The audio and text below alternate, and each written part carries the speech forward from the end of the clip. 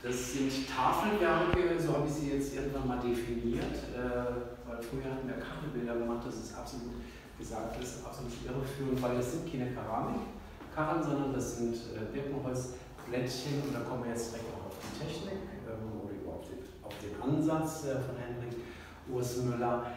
Ähm, die Fotografie ist die Grundlage für sein Werk und die Fotografie komponiert er oder kombiniert er zusammen mit Kompositgold und äh, mit Lack. In dem Fall hier bei diesen Werken ist äh, nur das Kompositbild und die Fotografie, die äh, digital bearbeitet ist.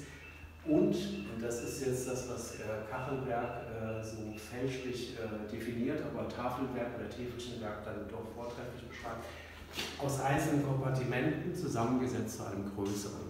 Das hat einen ganz nüchternen, einfachen Grund. Es gibt bei Henrik Müller in der rechten Hand ähm, eine, eine ähm, Behinderung, sodass er nicht große Formate alleine bewältigen kann, könnte, weil da einfach die Kraft und die äh, Fingerfertigkeit fehlt.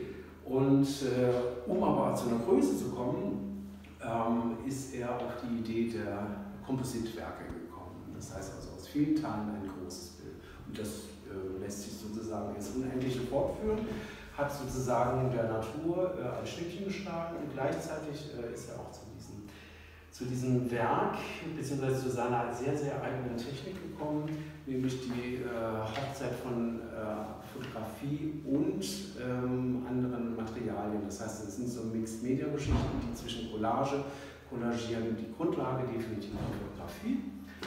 Was hier bei diesen Werken, äh, mit diesem Tafelwerk oder Täfelchenwerk besonders schön ist, ist, äh, es geht nicht um Perfektion. Im Gegenteil, das Nicht-Perfekte schafft zusätzlich noch Leben. Es gibt hier einfach leichte Versprünge, die äh, sozusagen die, das gesamte Bild als solches nochmal ähm, beleben. Aber Henrik Urs Müller ist ein gewiefter Kom Komponist im Sinne von Zusammenstellen der Bilder. Das sind alles letztendlich Digitalisate, also von ihm selbst fotografierten Tulpen, die er wiederum zusammensetzt und die er im Verhältnis zum Bildgrund ähm, äh, komponiert, beziehungsweise hier zum Kronleuchter. Und wenn wir jetzt wissen, dass diese Hausfassade im Grunde genommen die Galeriefassade, also Galeriehaus, die Fassade ist, dann ist das äh, total spannend, denn dieser Kronleuchter, der so äh, im Grunde genommen von Dijon inspirierter Designleuchter ähm, ist, wir sind Milchflaschen, die da auf, auf diesem Trockner sozusagen aufgeständert sind und mit einer Lichtquelle. Das ist also ein Design, was existiert.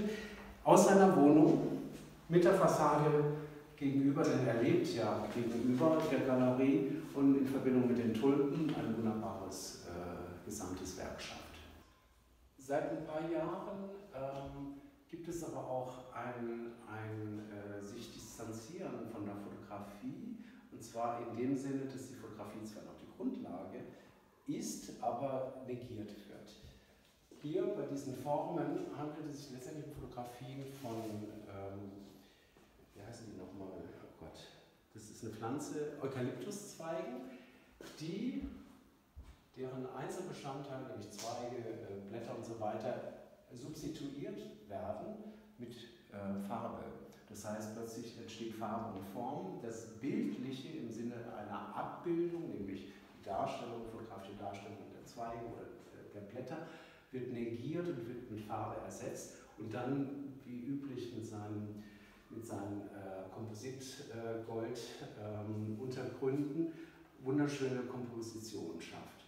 Die Fotografie ist noch die, Ur, der, die Ursache, aber ist nicht mehr ähm, in der Erscheinung äh, notwendig. Das heißt, es wird ähm, eine spannende neue äh, Werkgruppe aufgeschlossen seit zwei Jahren, die bisher nur in dieser Form bei den kleinen Formaten äh, realisiert wird. Also weg zur Fotografie, hin zur Malerei, aber gleichzeitig sehr wohl äh, die Fotografie, wie hier bei diesen Kronleuchterbildern, äh, nach wie vor ähm, nutzen, das heißt zwei Strategien fahren. Hier sind wir bei einem Tafelwerk von Henrik Großmüller von 2012, einem ziemlich großen, das ist Kirschblüten Ivory. Hier gibt es äh, Kirschblüten Blau. Das ist sozusagen eine Schwesterarbeit aus der gleichen Zeit, aber mit einer anderen Farbgrundlage. Und hier lässt sich das auch wunderbar ähm, erkennen, was ich vorhin gesagt habe, das Zusammenspiel zwischen der Fotografie, Lack, Goldgrund bzw. Kompositgold und wie er das zusammenbringt in einer Luftigkeit, in einer Leichtigkeit, die äh, fantastisch sind, äh, super Arbeiten.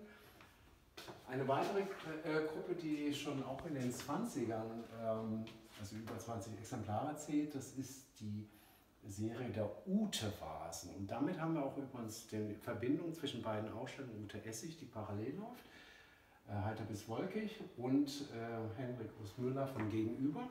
Denn diese Vase ist nichts anderes als ein Porträt, ich komme zurück, von diesen, die ich eben äh, in dem anderen Film äh, besprochen habe oder vorgestellt habe, ähm, wo dann sein Vanitas-Motiv äh, mit den verwelkenden Tulpen ähm, eingebaut wird mit dieser wunderbaren Begleitung der Schatten, die aber wiederum Ivory sind oder mal schwarz oder wunderbare Kompositionen schafft. Sieht man jetzt die Verbindung der beiden Künstler und das hat auch einen Grund. Äh, sie teilen sich nämlich ein Atelier. Also von daher gibt es so etwas wie eine gegenseitige Inspiration.